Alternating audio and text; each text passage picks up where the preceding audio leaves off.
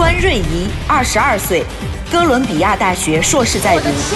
高考裸分六百九十九分，考入北京大学光华管理学院。这个裸分是什么意思？卷面分满分是七百五十分，他考了六百九十九。这第一个就这么厉害。何宜德，十二岁，南京大学销售管理专业自考专科毕业。哇哦！十二岁就专科毕业啊！杨毅，二十二岁，牛津大学硕士在读，本科以全额奖学金被东京大学录取，英国门萨会员，通晓八门语言。这有点东西啊。于晨杰，二十二岁，北京大学，第五十六届国际级数学竞赛金牌。总分四十二分，于晨杰得了四十一分，全球排名第二。别人家的好。